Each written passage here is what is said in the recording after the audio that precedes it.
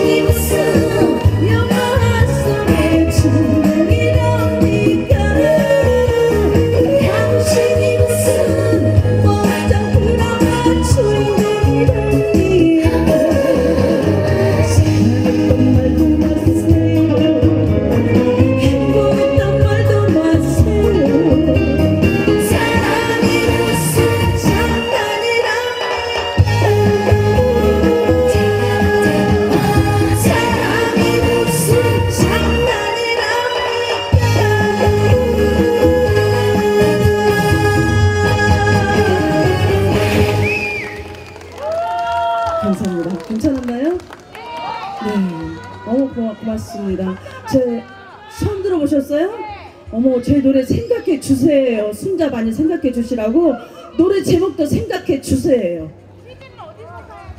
아, 제가 이따 드리겠습니다. 어, 앞으로 많이 순자 사랑해 주시고요. 어, 이럴 때는 앵콜도 나오더만 앵콜도 안 나오네. 그냥 들어야겠다.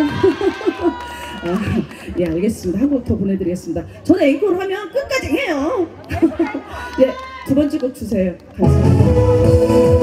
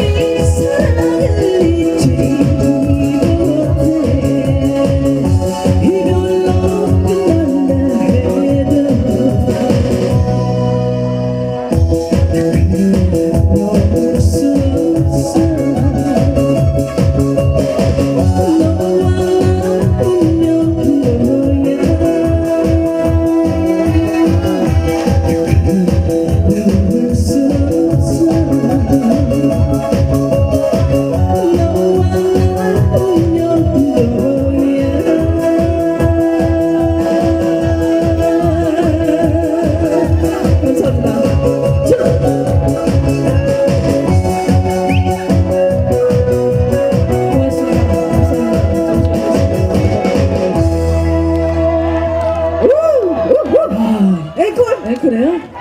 어, 다시 한 번. 앵콜, 앵콜. 언니 앵콜? 앵콜. 아, 앵콜. 언니. 어머, 어머. 김용임의 부초가 된 인생. 오늘, 오늘 부초, 부추, 부추는 저기 있고. 언니, 우리 저기 이리 오세요. 아, 우리 순자 씨가 생각해 주세요로 전국 방방곡 곳을 다니면서 굉장히 활동을 많이 하고 있는데 우리 여러분들 앵콜 한번 들을까요? 어, 다 같이 함성 한번 주세요. 와우. 우리 순자 씨 앵콜 한번 부탁드려요. 예, 앵콜 갈까요? 네, 음악 주세요. 알겠습니다. 고맙습니다. 나오세요. 나오세요.